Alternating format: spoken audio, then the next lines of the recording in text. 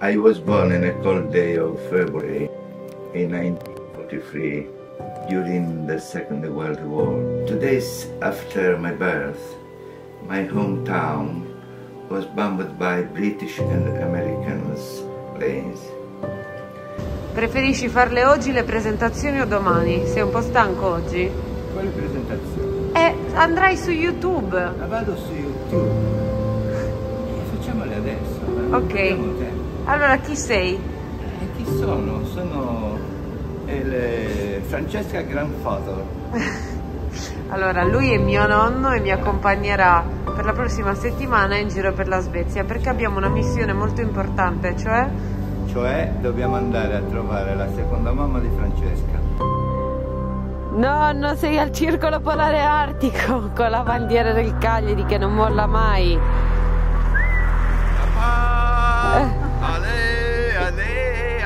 Ale, ale. Bravo nonno, com'è?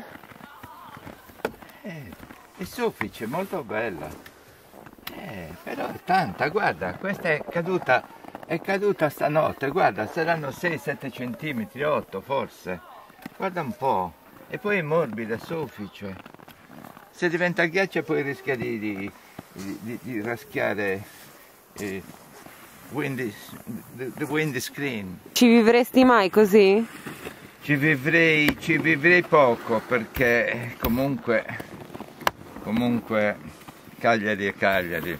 Eh, Non possiamo, no, guarda, ah, non- si può venire in vacanza, si può stare 10 giorni, 20 giorni, un mese, ma poi devi tornare a casa perché, perché da noi è il posto più bello del mondo. Non credi? sì, sì. Eh, io continuo qui perché altrimenti... Vai, continua. eh. Nel frattempo Marian pulisce la strada.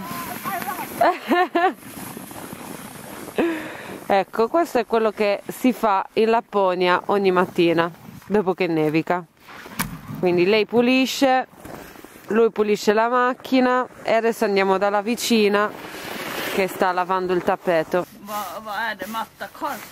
Is The carpet, you wash the carpet with the snow. Yes. Do you put any so- soap or anything? No, no, no. just snow. Just snow. Ok. And uh, E poi lo appende così per asciugare.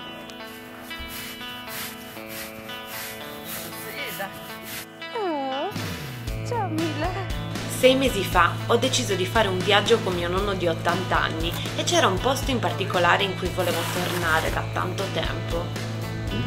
Lei è Marian, mia madre svedese, e per qualche giorno ci ha scorrazzati in giro nel circolo polare artico.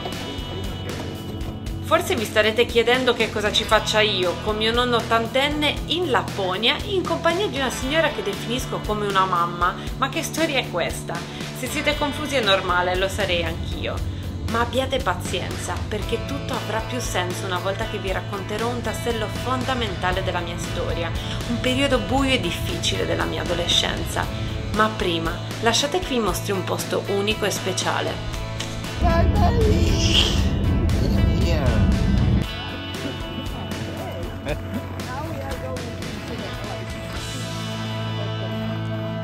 Sembrava impossibile per me visitare questo hotel interamente fatto di ghiaccio, ma finalmente ce l'ho fatta. La prima volta che sono venuta in Svezia dieci anni fa, non ricordo per quale motivo questo albergo era chiuso, quindi forse non era pronto, forse non c'era abbastanza freddo e quindi non ho potuto visitarlo.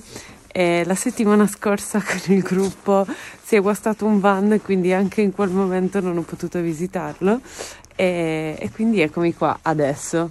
Tra l'altro mio nonno è emozionatissimo come un bambino, non riesco neanche a trovarlo, l'ho già perso perché sta girando tutte le stanze e, e Marian non veniva qua dal 2002, quindi più di vent'anni fa. Quindi sono molto felice, tra l'altro è davvero impressionante. Cioè, tutte le pareti sono fatte di ghiaccio, ci sono un sacco di opere d'arte e anche con le luci, tutti questi effetti è bellissimo.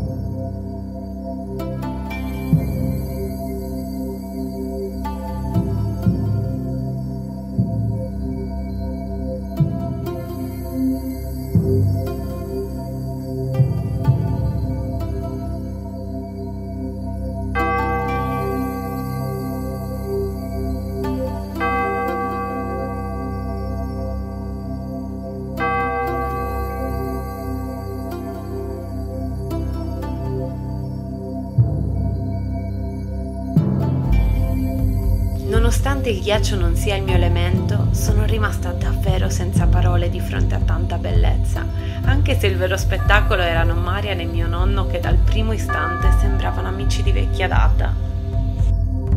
Allora, nonno, Sì, dimmi. siamo nella stanza giusta, topo e gatto. Sì. Eh, Come ti senti? come ti sei? Io, io mi sento come il gatto.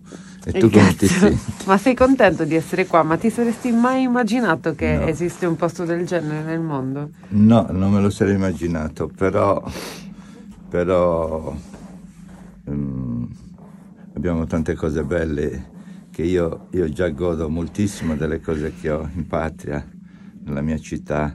Eh, quindi questo casa. non ti piace? Sì mi, sì, mi piace molto, mi sorprende, mi sorprende per la creatività, per la bellezza, per l'arte, per tutte queste cose, però Che a casa è meglio. più nessuno, ma solo non si vedono i due occhi. And, uh, madam, what do you think about this ice hotel? Yes. What do you think, Mr. Pino? what do you think about this ice hotel? I am quite surprised. Yes, uh, I have started. learned since I was a child.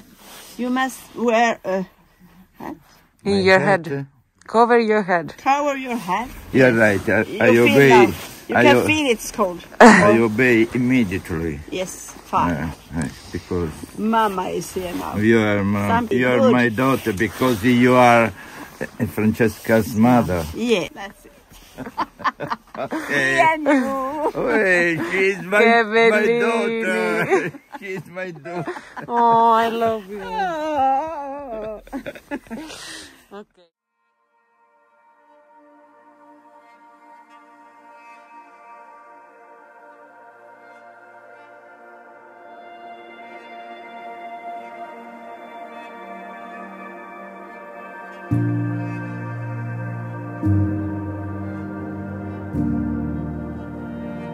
Cosa sta succedendo qua? Lasciatemi spiegare.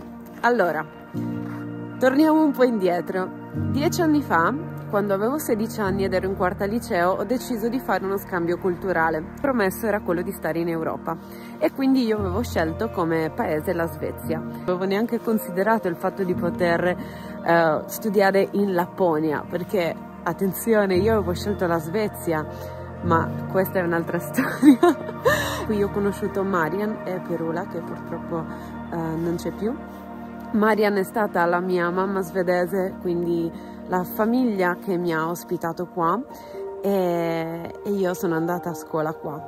È stata un'esperienza molto molto dura per me perché come potete immaginare non è facile vivere in Lapponia, specialmente durante l'inverno e specialmente a 16 anni quando eh, non sei proprio pronto ad un isolamento del genere. Eh, ovviamente non avevo l'autonomia di potermi spostare con una mia automobile, qui non c'è tantissimo da fare perché le ore di luce sono poche e fa molto molto freddo. Nulla che voi non sappiate o che non possiate immaginare e, e quindi è stata un'esperienza veramente veramente tosta per me che purtroppo non ho portato a termine, quindi avrei dovuto completare il mio anno scolastico, quindi tornare in Italia a giugno barra luglio e invece ero tornata a dicembre. Ed è stata una bella batosta per me perché io desideravo tantissimo venire qua o perlomeno scappare dalla mia realtà, eh, iniziare subito a confrontarmi col mondo e quindi è stata dura, è stata dura per me, è stata dura per Marian perché lei soffriva insieme a me. Io ho avuto eh, diversi problemi a scuola, non sono riuscita ad integrarmi. Persone che vivono qua non sono molto abituate a ricevere persone di altri paesi o perlomeno non dieci anni fa forse. E quindi è stato uno shock abbastanza importante per tutti. E ho deciso di dare una seconda opportunità a questo posto perché Marian è sempre stata splendida come mi ha sempre dato un sacco di amore e, e anche Perula che, ehm, che era mio papà, mio papà svedese, quindi loro sono stati una famiglia fantastica, però eh, ovviamente tutte le altre condizioni non erano tali per continuare a quel tempo e quindi ho deciso di tornare. Ho deciso anche di portare mio nonno che nel frattempo aveva conosciuto Marian tramite i social, questa cosa eh, super strana, quindi è un bel riscatto. E questo posto è davvero magnifico, ma solo quando trovi la tua pace interiore a 16 anni non la puoi avere ed è giusto così. Quindi è bello essere tornati dopo 10 anni, è bellissimo e super emozionante rivedere Marian. E basta, questa è la storia. Quella alle mie spalle è la casa dove ho vissuto dieci anni fa, cioè la casa di Marian e Perula. E quella lì in fondo è la mia cameretta. Wow! La cameretta in cui ho vissuto per quattro mesi. Io esattamente su questo letto non so neanche quanti pianti ho fatto ed è quello che un po' stavo pensando ieri quando eh, quando appunto mi sono messa qua, ero pronta a dormire e pensavo, cavolo, quante ne ho passate qui in questa, in questa camera? Questo era tipo il, la mia tana, il mio, il mio spazio sicuro. Quando chiudevo quella porta cercavo di...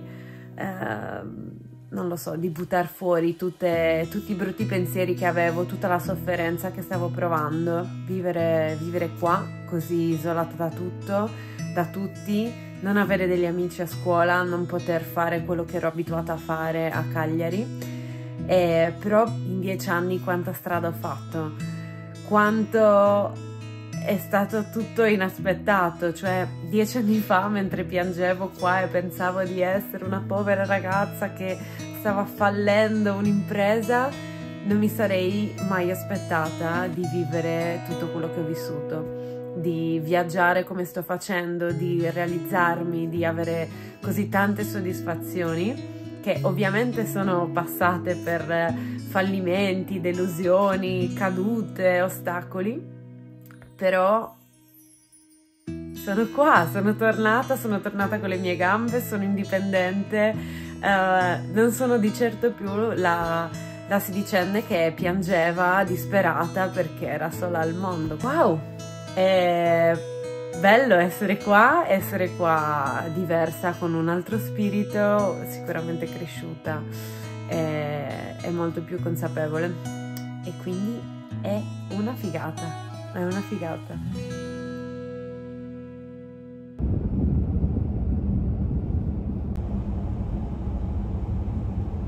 Ultimo giorno per me e nonno stiamo andando all'aeroporto di Luleo perché oggi andiamo via. Sono stato bene, sono stato benissimo. Eh. Ho visitato un paese che non conoscevo, molto misterioso, molto bianco, Eh. molto tranquillo, molto desertico poche persone.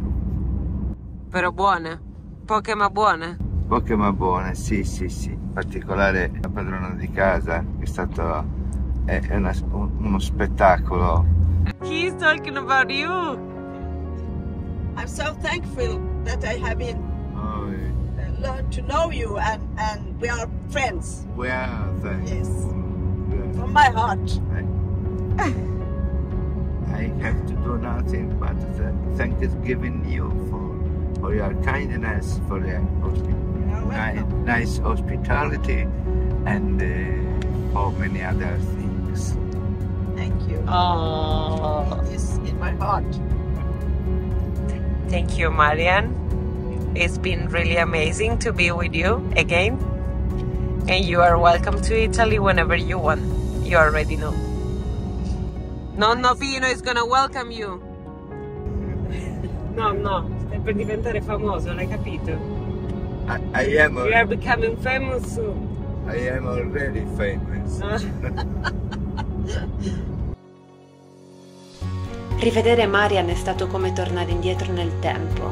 Nonostante gli anni e le distanze, l'affetto che nutriamo l'una per l'altra non è cambiato. E questo mi ha fatto riflettere sulla potenza dell'amore, anche nei periodi più oscuri e misteriosi della vita.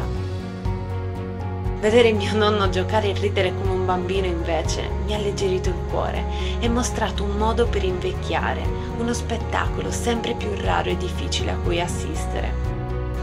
E poi ci sono io, che mi sono presa una bella rivincita per non essermi mai arresa, per non aver mai smesso di crederci, ma soprattutto per aver dato un'altra opportunità alla vita. per sorprendermi ancora una volta.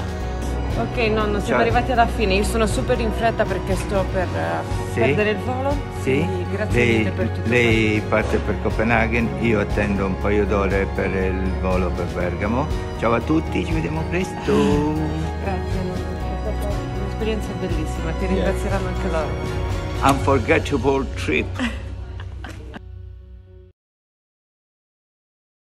Just a while. Francesca, dove? Ecco qua. Ecco qua.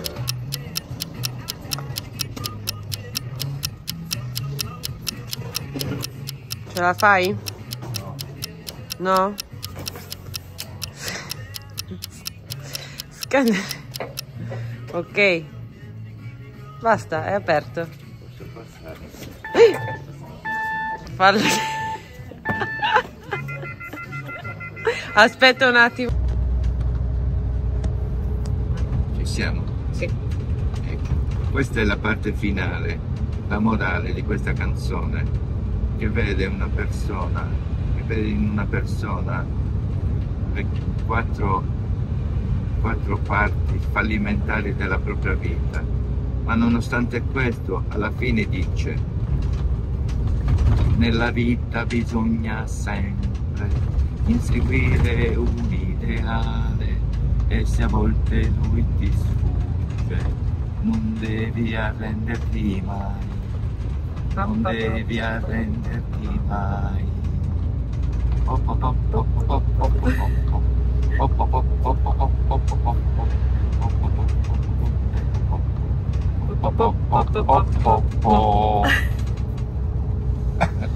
Grazie nonno per questa lezione.